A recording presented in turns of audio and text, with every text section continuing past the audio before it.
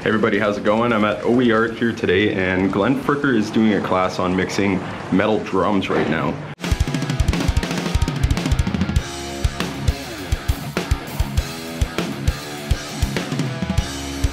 So he invited me out to play drums and I'm here with the, one of the faculty. He's setting up the drums right now. His name's Matt. Say hey Matt. Hey guys. So yeah, you guys see me doing a dry run before, but this is the real thing and this is a setup right here. I'll go see if I can't uh, sneak in on Glenn.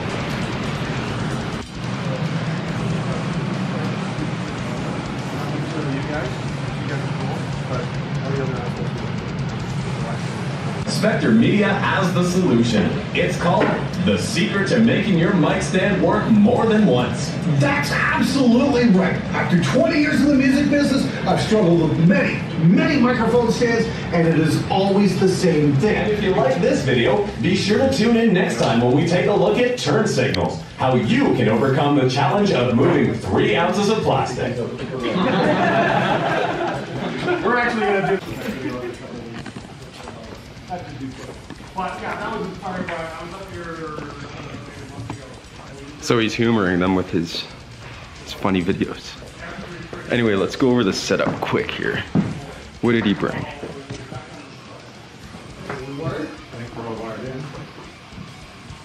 And of course, Matt Bud ran away. Okay.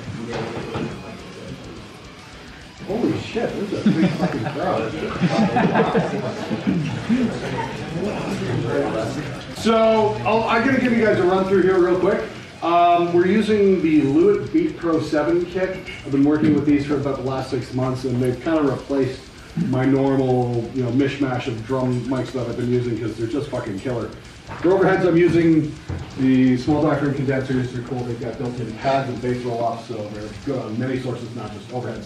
The tom mics are great. They're kind of low profile, which is fantastic. If this thing's sagging, this is why I fucking hate my stands. But one of the biggest things you're, you're going to find dealing with drummers is they love to get their cymbals just about as close as possible to the toms because they're lazy and they don't want to fucking reach. And drive drive you insane. So the, the, the Lewitt tom mics are actually a little smaller and sound as good as or better than 421, which has been the de facto rock standard for years and years and years. Lewitt snare mic. This is really great. This is actually becoming my favorite snare mic, MTP 440DM. And um, this I'm finding is replaced the 57 for my favorite snare mic because it's a little less papery. I think when they designed this, they designed it with a digital rather than analog, and it just translates that much better. It's a little thicker sounding. I don't have to fight with it as much to get it to sound really good. So I'm real thrilled this. This is also awesome on metal guitars. 421 underneath. Um, I used to use like a 57 down there. Tue Madsen, who does the Meshuggah records, he, he suggested using uh, 421 underneath, and yeah, it works pretty good. Um, in the back, we haven't raised them up yet. They're, they're the fun mics. We got some C414s back there. Those are going to go way up high and capture the room. So this is kind of a heavy mic. This is the uh, Solomon Low Free, and this is designed to pick up your subsonic frequencies in the kick drum. And it's designed to work in conjunction with your main kick drum. And this is a really cool kick mic here. I'm going to show you, pull this out of here and show you guys in a second. So this is this is the Rex 640. This is a dual element kick mic. What this is is a dynamic and and condenser in perfect phase. So you get this little Y cable, so it just goes up the two channels, and you can mix the different elements and kind of get like a sliding cue. And if you're helping the drummer set his kit up, thank you to Cam, he did an amazing job. But you know, if you're helping the drummer set his kit up, your thumbs are going to be red at the end of the day just cranking stuff over that. Especially if you've got a house kit, because all the drummers are going to want to change things up to, you know, to get to sit differently, because, you know, they just have to complain about everything. Except Cam, Cam's amazing.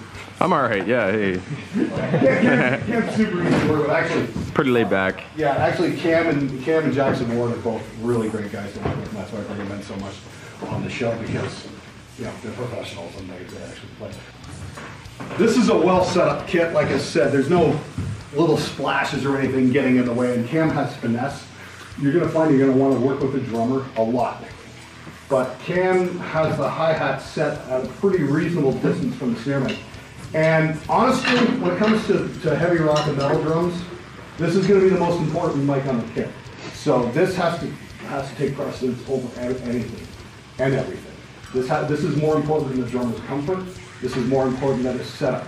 So if the drummer complains, tell him to shut the fuck up and fucking put up with it and be a man. I, I, I feel we're gonna get to the point where people, bands are just gonna finally say, you know, okay, we want the real thing. Who do we know that can record drums? It's gonna be, it's gonna be a skill that should come back at some point, at least in some kind of limited demand. Because people are just gonna get sick of it.